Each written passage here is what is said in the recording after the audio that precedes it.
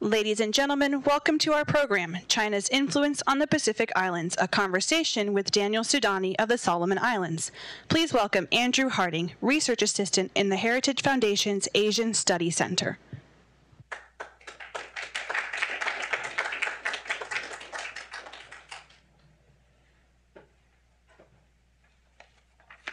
Well, good morning, everyone. Thank you all for being here today and welcome to the Heritage Foundation. An especially warm welcome to all of those who braved the rain to be here. And thank you for all joining us online. Today, we have a special event this morning, historic even. An opportunity to hear from Daniel Suidani, the former premier of Malaita province, the most populous province in the Solomon Islands. Mr. Suidani served as Premier of Malaita Province from June 2019 to February 2023. During that time, the Solomon Islands switched diplomatic recognition from Taiwan to the People's Republic of China.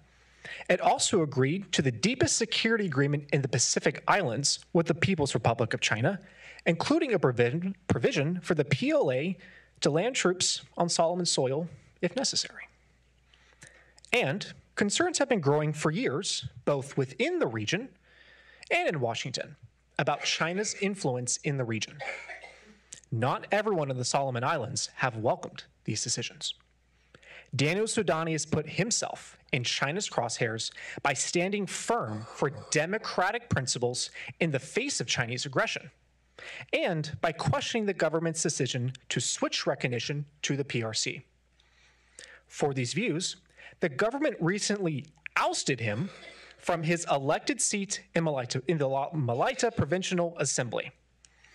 We look forward to Mr. Suidani's insights as a first hand observer to one of the most important diplomatic, political, and security threats in the Indo Pacific, the region of the Pacific Islands. To moderate this discussion, Jeff Smith will be the, the director of the Heritage Foundation's Asian Studies Center. Please join me in welcome Daniel Suidani and Jeff Smith to the stage. We'll have him sit in this chair here. Yes, yes, perfect. Yes. Thank you for that introduction, Andrew, and thank you to everyone for joining us in the auditorium today and, and at home. Um, this is a special event and a special conversation that I've been look, personally looking forward to for some time now. I think um, there may be more interest and activity on the Pacific Islands the last few months than I've seen in the previous 15 years being in Washington. Part of that is because uh, we are in the process of renewing uh, COFA agreements with three Pacific Island countries now, uh, but also because um, China's activities in the Pacific Islands have been picking up of late, including signing a security pact in the Solomon Islands, uh, among other things that have caught our attention. Very interested to do a bit of a deeper dive so that we can understand more of what China has been doing in the Solomon Islands and the Pacific Islands more broadly. But before we get into that, um, Mr. Suidani, I thought maybe you could begin just with um, a brief discussion about your background and, and the Malaita province that you come from to help uh, educate our audience. Thank you, everyone, and uh, thank you, everyone, and good morning. Uh, thank you for this, the Heritage Foundation for allowing us space this morning to come and talk to the people that we share the same views. And also thank you for those who are making the trip possible for coming here, the congressmen uh, who wrote the letter to, to make my visa possible for me to come. And America is a very special place and it's good to be here. I am a teacher by provision in the elementary school before I became the member of the Provincial Assembly. And uh, I was voted in 2019 to become the provincial member of the people of Fataleka, Baegu. It's a ward in the province of Malaita. And Malaita is one of the provinces of Solomon Islands. Solomon Islands is made up of nine provinces, and one of the provinces I came from is called Malaita. And uh, I was voted in as a member of the Provincial Assembly and became the Premier as well that same year, 2019. So that is a, bit of background from me as who I am back in my country, Solomon Islands. Hmm. Thank you. And so, just to review the timeline, so you were elected premier of Malaita province in summer of 2019. Shortly after that, around September of 2019, the Solomon Islands government switches recognition from Taiwan to the People's Republic of China.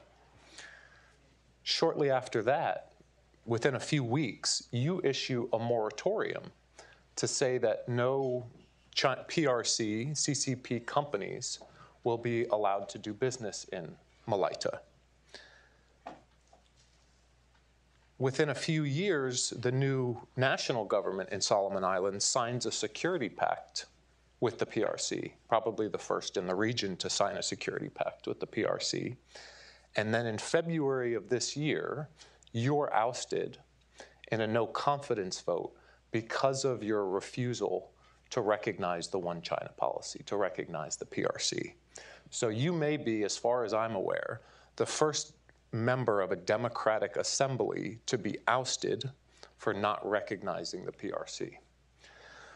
So, having had a front row seat to all of this activity, do you, could you give us a few anecdotes about what you're witnessing on the ground with China's growing presence in the Solomon Islands? And what is it that concerned you so much that you felt the need to push for a moratorium?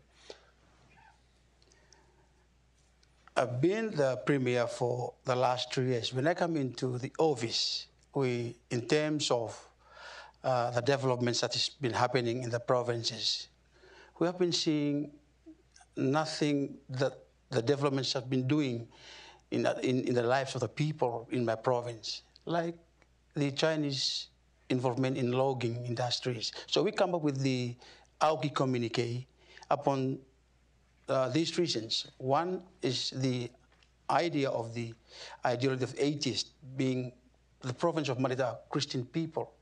And we like look at the, the, the atheist.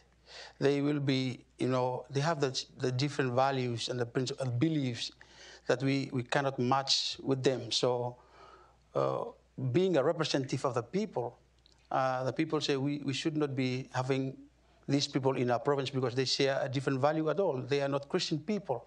That's one of the reasons for the AUKI communique. And the second one is that we are trying to, to do away with Chinese companies, uh, the CCP companies' involvement in the province. Looking at this destructive development so far, this all, the market is for China, and the logging industry is destructive all, all the way back in the 40 years back from, from today.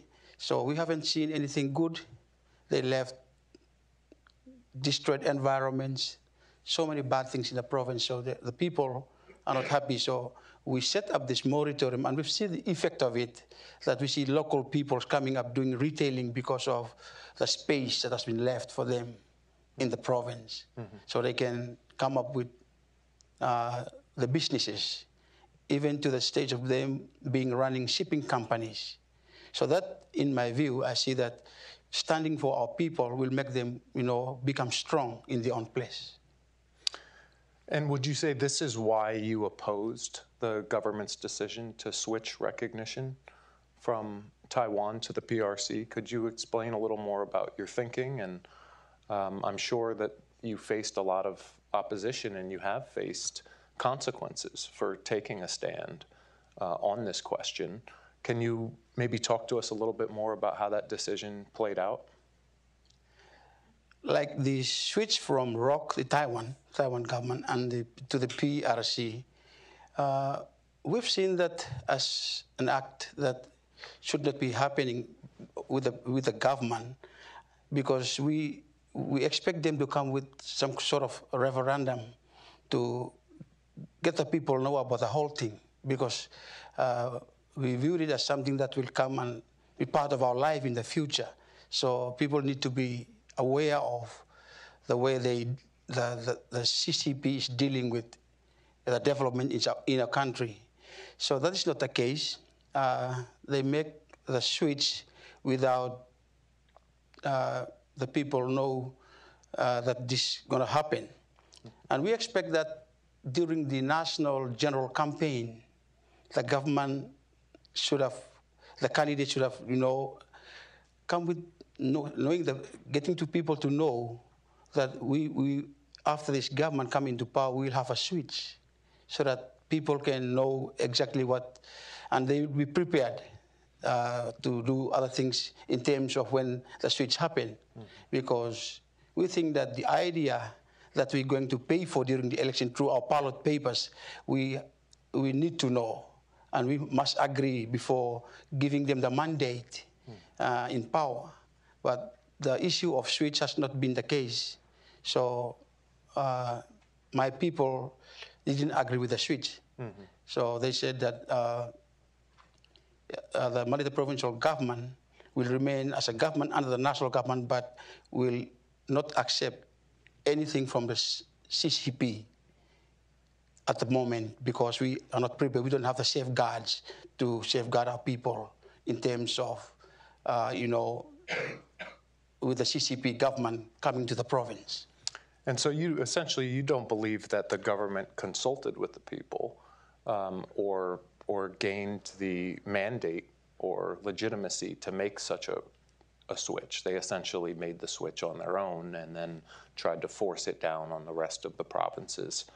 And, and you've been resisting that. Um, can you tell me a bit about the, your current status? Um, you were ousted in a no confidence vote, but I understand you're challenging that decision through legal means. Um, are you hoping to be able to return to your your assembly seat with the lawsuit? Definitely. Uh, I'm, I'm uh, just believe strongly believe because of uh, uh the act of disqualifying me or cancelling my seat uh, in the Provincial Government Act that I've known of uh, there is nothing that involves a minister of the central government in his power to give the disqualification letter to me because I was voted by the people and I was mandated by my people.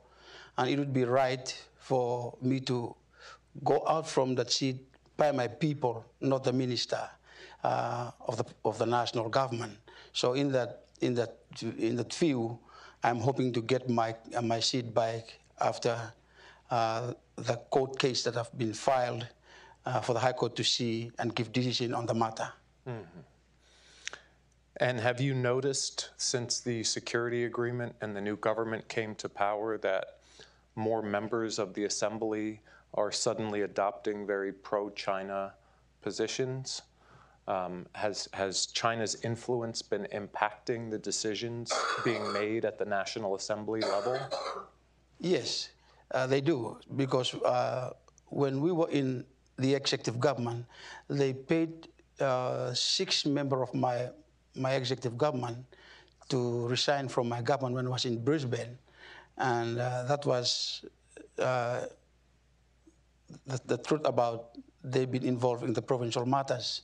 So they paid the, they give money, they give money to the members of the assembly to resign from my government. But it's I am so lucky that I can replace the six at the same time with the opposition group that believe in what I stand for. Hmm. So I believe there's this influence that the, the CCP, through the national government, has been doing uh, to disturb my government. So the, the, the PRC, it seems, paid money to provincial assembly members to resign in order to hurt you, and you were able to counteract that move at least. At the moment, uh, the, influence of the PRC normally comes with the, the, the cronies of the national government. National. Yeah, so they you, you cannot really figure out, but we can see that this money comes from CCP because of uh, they are going for the CCP's interest. Mm. So that, in my mind, I, I, I just understand that the, all this influence comes from the CCP through the DCGA. Mm. Now, at, at the same time that you uh, banned CCP money and projects in Malaita. You did say you open uh, the doors to Amer- a greater American presence, American aid, American development projects. Um, h- how is that received by your constituents? Are they generally more open to the United States and wishing greater interaction with the U.S.? The people uh, in the constituency in Mali, the province as a whole, they are very happy about the USAID scale, which is now in the province of Malaita. And if not, it's the first time uh, a bigger country like the US comes straight to the province through a platform under the NGOs of the United States of America called Winrock. And people are very happy because they meaningfully engage properly with their, the resources through the funding, uh, 25 million US that has been funded to the Malaita provincial mm-hmm. people. Mm-hmm. But it does seem to me, just from hearing your story, and the more I learn about it, the more it strikes me that that diplomatically the U.S. has not been very present and very active in some of these uh, sh- shenanigans that have been taking place over the past few years. Do you wish to see more U.S. engagement uh, with the Solomon Islands? And as this sort of political turmoil is playing out, how can the U.S. government be helpful in either stabilizing the situation or promoting democratic values and principles or ensuring that undemocratic practices uh, are, are not taking hold at the CCP's behest? I've got three reasons, uh, three, three reasons to, to, to, to share here. One is the issue of elections that has been uh, the bedrock of any nation. Uh, the government has extended the election for a cause of sport, a Pacific game. Uh, and they said that because we have the Pacific Games 2023, uh, we, we, we, need to move or extend the election to 2024. And that is one of the saddest things uh, we have heard, heard and learned of because of the election is much more bigger and it's a foundation of democracy to any country. And it's very sad to see that the government is extending the election for the course of games. And we would like to see the US in any way possible to get this narrative to the Solomon Island government that we need to have election before sports. This is one of the, the important things that should be happening in, in, in, in the country of Solomon Islands in terms of the democracy beliefs and the, the, the, way CCP influenced the government to have the sport. Because we have seen, the, by the time they hand the, the, the infrastructure to the people of Solomon Island, it will going to be a huge thing. Uh, and people will see that this is China. This is how China do things much faster than the U.S. So they seems to think that election is something not important. So we are fighting for the election to be the most important thing to happen than sports. That's one. Secondly, the absence of the U.S. Uh, like we have seen, we, we have the belief in democracy, and the people keep, keep asking, but where is U.S.? Where is the uh, U.S. United States? Because we have seen Chinese people here. We've seen noodles and all stuff of food that been imported from China. But the people back in the country still have the belief because of uh, the relationship in back way back in 1942, where the Americans uh, were helped by militants who fought in the war. And when we see the parliamentary house in Solomon Islands, we think of U.S. because they are the one building the place, uh, the parliamentary house. And uh, now that the USAID scale is there in the in Malaita province, we think it's good for the US people to, to have a platform that connects with the Solomon Island people. It's a people to people so that we can see effectively how things uh, be happening because we have been uh, seeing these government to government issues and nothing happened. We are feeding a government that is not good for the people. So is there any way that we can have another different ways of aligning the helps from the United States to the people of Solomon, that would be a good idea.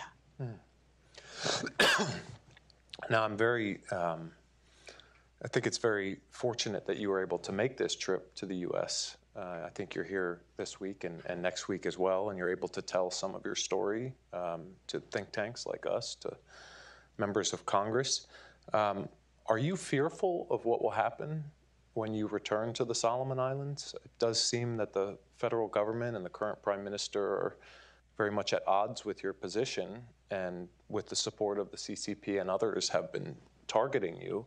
Um, are you fearful for your future? Definitely. Uh, when I was back in the Solomon Island, we have seen this news in news in papers talking about putting Suidani in the front page of Solomon Star and Island Sun.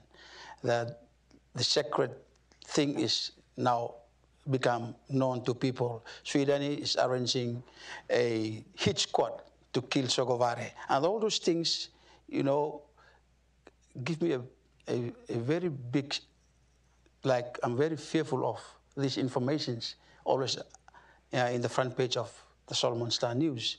So going back to the Solomon Islands is not easy.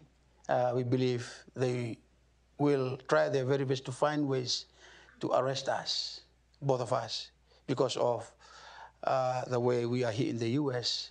and with the medias that we have been now uh, communicating and advocating our rights and the principles of democracy will something that CCP will will not like to hear.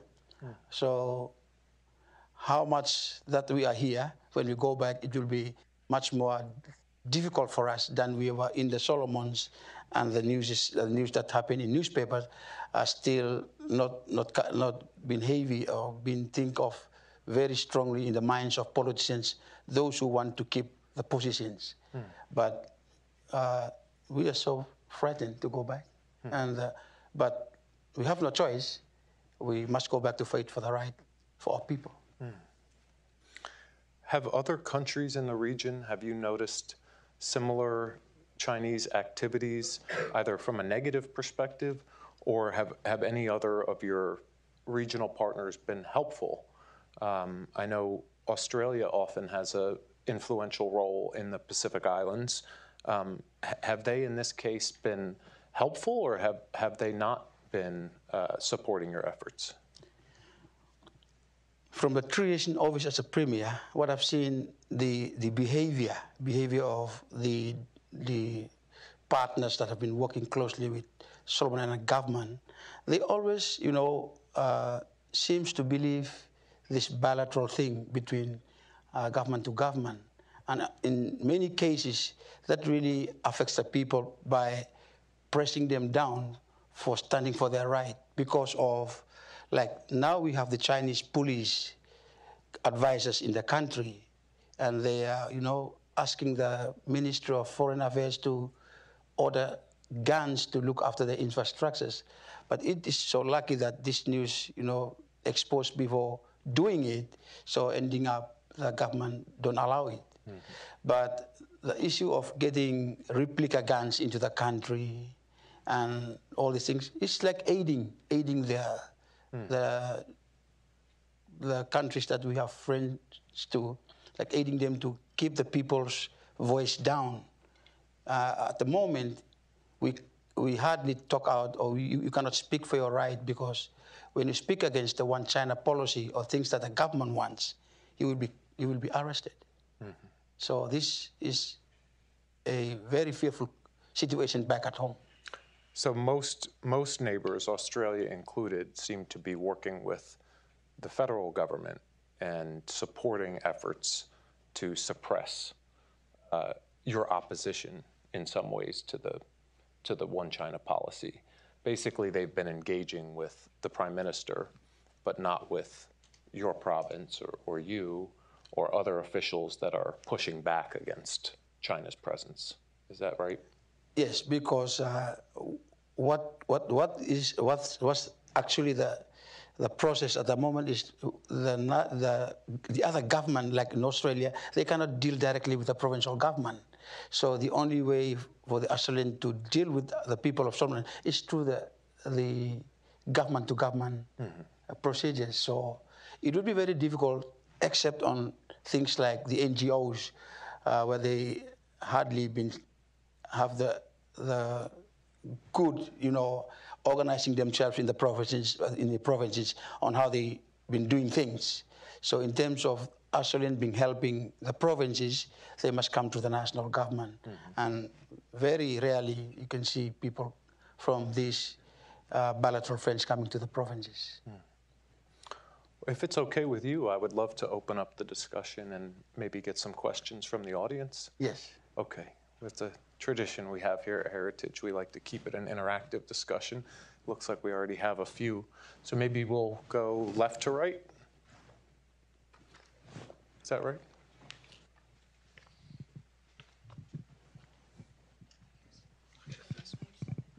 Yeah, g'day. G'day, Premier Lincoln Parker from Australia. Uh oh. So um, it's sad to hear that it seems that the Australian government isn't supporting you, and considering that Solomon Islands is such a strategic um, country to the northeast of Australia, um, could certainly, if it fell into Chinese hands, cut off our sea lanes of communication and our trade.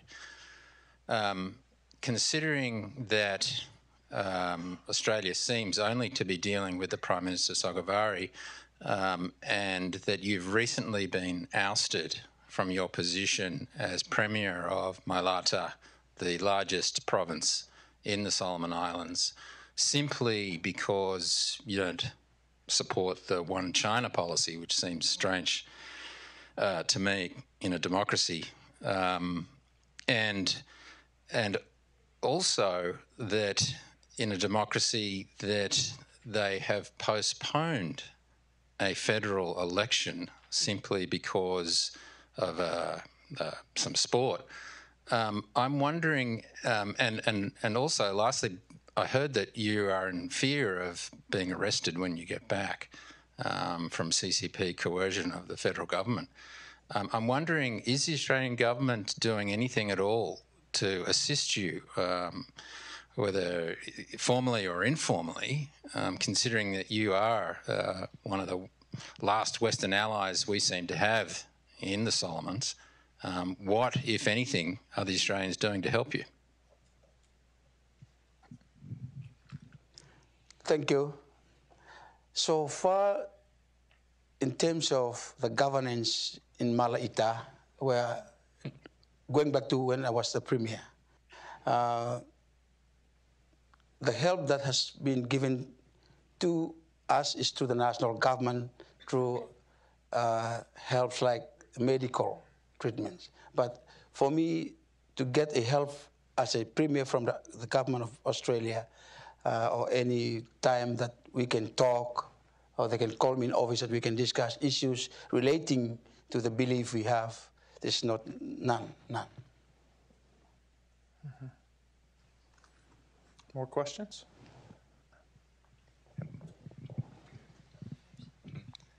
Hello, I'm Gavin Sue from the Atlantic Council, and I have a question regarding um, a previous comment you made about being afraid for your life. Um, so I was, um, so I'm wondering how the Solomon Islands is working to combat um, dis- Chinese disinformation, and um, Chinese disinformation does not necessarily have to come from places like Xinhua or the Chinese embassy. And as you mentioned before, there was, um, it can also come from like disinformation within the Solomon Islands. And so, like um, you mentioned for the Solomon Star, it was um, an article by um, a reporter called Alfred Sasako, and he um, claimed that you were um, behind a U.S.-backed plot conspir- um, conspiring to overthrow the government of the prime minister. And so, this reporter, Alfred Sasako, of the Solomon Star, also has connections to China. For example, he visited China before and sponsorship from the CCP, as well as CCP aligned organizations. And so, with the, this information environment, with CCP connected journalists working at these um, prominent newspapers, it seems like there's not much done in terms of protecting the information environment. And do you think this is a problem within like publications like the Solomon Star or the federal government is in related on this as well. Thank you. Sasako uh, is the editor of the edit of the Solomon Star. It's one of the main uh, news streams, newspapers in the Solomon Islands, and uh, he also has an affiliation with the CCP. So most of the informations, uh, like we have seen, the, the way he he wrote his his, his news uh, in the media is is not is not neutral. So looking from now that he is with the MEDI, the new government of Malaita, uh, who is advising Malaita provincial uh, new premier, he is also uh, get some advices from the national government, uh, from the CCP uh, in uh, working together to oust my government from being the premier of the province. So yes, the newspaper Solomon has been, you know, the Chinese people has been supporting uh, this newspaper, giving them apparatus like lap, uh, laptops and computers.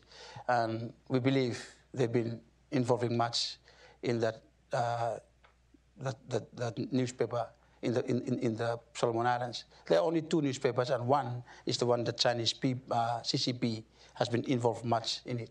Mm-hmm. Maybe question over here. Thank you. Two, two quick questions. One, uh, we talked about Australia as a partner, but also, um, what do you think about some of the other partners like Japan? Well, how is Japan perceived on the ground? And the other question is um, a lot of what you're describing happens through bribery, through illegal money.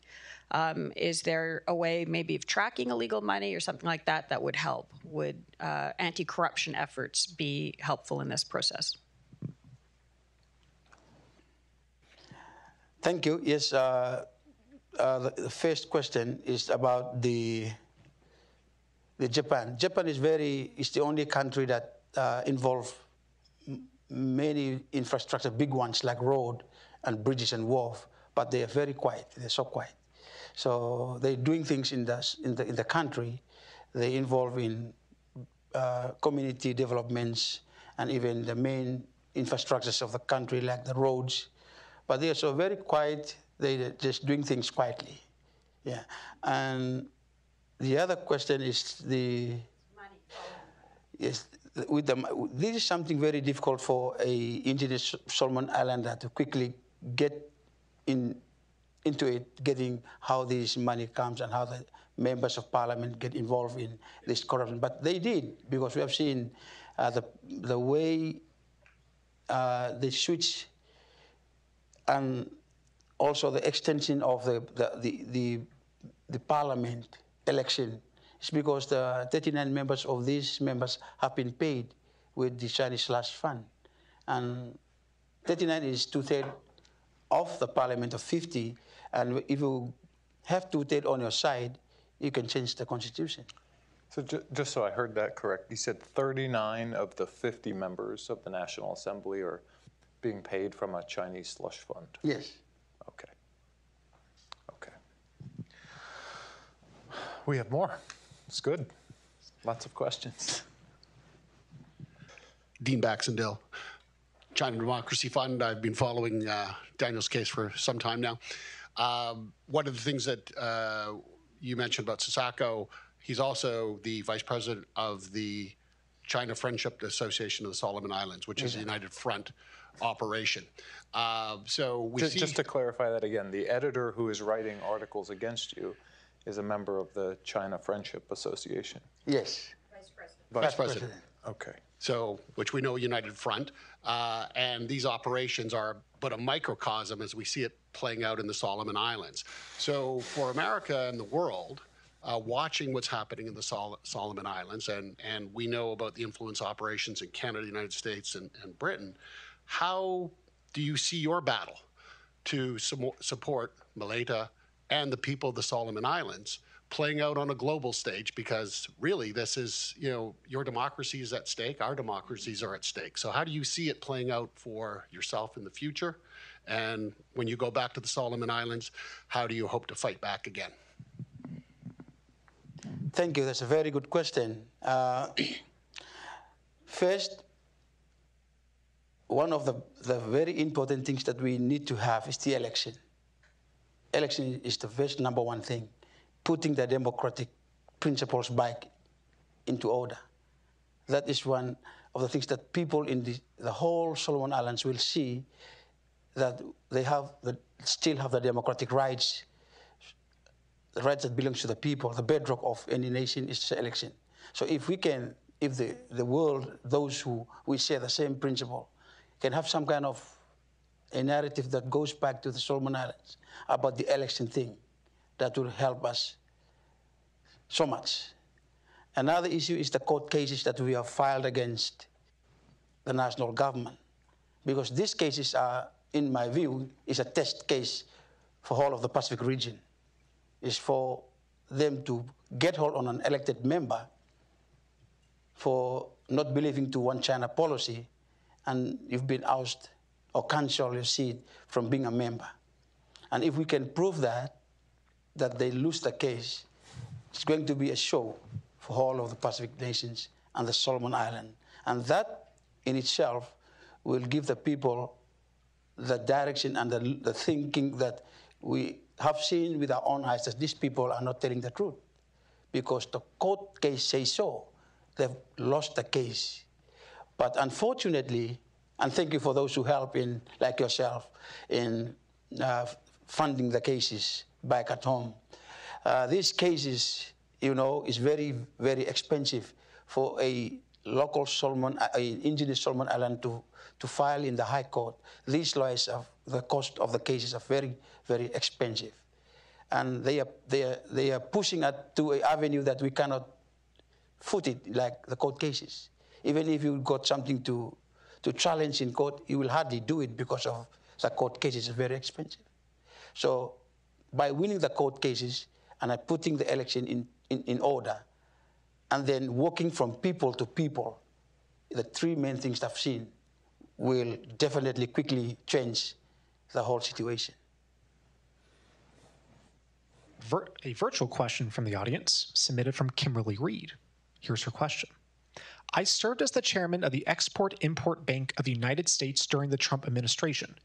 National Security Advisor Ambassador Robert O'Brien and I hoped to visit the Solomon Islands in November 2021, but COVID presented some challenges. My export import tenure ended in 2021. In 2022, news reports indicated that the Solomon Islands government has secured a $66 million loan from China to build 161 mobile communication towers, which will be built and supplied by Chinese telecom giant Huawei. The loan will come from the Export Import Bank of China, which has offered a 1% interest rate. So, do you need a U.S. Export Import Bank as part of a whole of government approach to help the Solomon Islands buy made in the USA goods and services versus China? Hmm. And let me just add a follow up because um, j- briefly before we came in here, it sounded as if one of the new, one of the first initiatives taken by the new Malaita premier. So you were ousted, and a new one was brought in this year. And one of the first things he did was to bring in Huawei to build new towers. Um, how can the U.S. government, to get to the original question, uh, maybe help to counteract some of this activity, or at least provide Malaita with alternatives if they choose not to go that route? I think the because the reason for building the towers when they come to the province, when I was still a premier, they said towers are helpful in terms of health, medical services. You can stay anywhere in the province, even in the highlands of the province, and you can still do operations like doctors will use this uh, communication to get advice from doctors in Australia and anywhere in the world just to do operations. So they are using medical, you know, uh, communication skills uh, to change the mind of the executive government. But I have seen during that time that this is uh, like an, an, excuse for them to bring in the towers. We have the telecom towers in the provinces. We have the B Mobile company towers in the provinces. And I was hoping that they upgrade the towers there and then the services still will be going under the same service providers. But going back to the new government, that is the aim of the national government to, to oust me so that they can put the new government that they easily control over. So now it happens. Hmm. So they are getting the engineers from the Chinese engineer to go to the province and find out where the towers to be located when I was out from the premier. So that's their aim. And if the, the US government can step in, in in putting a communication that is much cheaper in the Solomon Islands, or maybe ways that can be cheap to get, because communication back in the Solomon is very expensive. Mm-hmm. And for the government to use China money to build towers and then rent it out to the telecommunication provide, service providers, it would be add on to the price of the service for customers. So I, I blocked those 24 towers. I see. Uh, we've got a few more in the audience, and I understand one more online. Oh, okay. Sorry. One time for one more question. Period. Um, Thanks very much for your time. It's been really interesting listening to you. Um, I wondered, what do you think China's end game is for the Solomon Islands? Is it ultimately to try and build a military facility there? What's the what's the end game? And also, can I ask, um, what do you hear uh, about other countries in the Pacific and the influence China has on them? Good question. Actually, Kathy, Andrew, did you have a question as well? Maybe we could take two for one as a final. Uh, Your Honor, um, we've seen other countries which are heavily in debt. We got a mic for you. Your Honor, we've seen other countries which are heavily in debt via the Belt and Road projects, how they've changed their constitutions at the behest of the PRC regime. For example, last year, Barbados changed its constitution and changed its ceremonial head of state. When do you see the same thing happening uh, in the Solomon Islands at the behest of China? Can you explain? Uh, could you rephrase that, maybe? Oh, so in other words, uh, Barbados last year yeah. had a, changed their head of state without a referendum and removed King uh, then Queen Elizabeth II as their head of state. How soon before King Charles III is removed as the head of state of, of the Solomon Islands at the behest of China? Mm. Yeah. Well, let's take the first one first. Okay. So, what's China's long-term game plan? What, what's the end game? If China were to get everything it wanted, what would that look like in the Solomon Islands? What do you think is their end goal?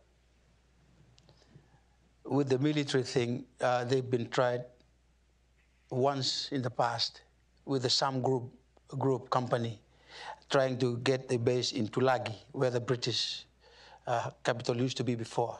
But uh, people start to, you know, find out the background of that investment in Tulagi, that that SAM Group uh, somehow belongs to the PLA.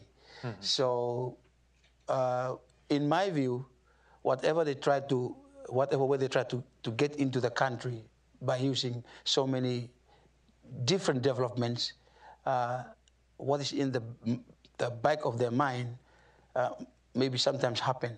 Maybe in military, I don't know, but we can see that the way they start putting in uh, vehicles, riot vehicles, and riot gears and trainings in the country, it seems to to show us the beginning of things like that. Hmm. So I've been seeing that if we don't have uh, careful, we will end up like the Uyghurs. Hmm. Uh, we have been to the Uyghurs community here, and the way they talked about how China come into uh, their place is exactly the same as what is happening in the Solomon right now. Mm. So they talk about infrastructures, good things, win-win situations, and now they end up that way. So Solomon Islands, too, are now going in the same trend of you know ways. The Chinese come in our country. Now they start to adopt our culture. They go and give uh, sell money to the people in Mali, the province, as though this sell money giving is their culture. So they, I've seen that they are they're creeping in through our culture. And very shortly, if we are not careful about, uh, they will be looking after the whole of Solomon Islands with the way they think they will gain their, their aims and objectives. Hmm. Your timing is perfect. We had a hard stop at 11:45, and I think uh, we've frankly covered a lot of ground just in our short conversation. You've done a tremendous job educating us about what's happening in your country and in your province. Um, it is absolutely vital for us to hear from you uh, what's happening there because uh, unfortunately the Pacific Islands have been, a, a, I think, a blind spot for the United States for too long. Um, and so I want to thank the audience for coming out on a rainy day and attending in person. I want to thank you for uh, making this trip and for bravely fighting for democratic principles in your country and for your people at great risk to yourself. And I think it's very admirable what you've done. I, I wish you luck in the rest of your journey here uh, in Washington. I hope you're able to educate U.S. lawmakers and diplomats and other officials on what's taking place. And finally, a message to the U.S. government the Solomon Islands government and the Chinese government will be watching uh, what happens in the weeks and months ahead, and we'll be raising awareness about it. So thank you, Mr. Suidani. Thank you as well.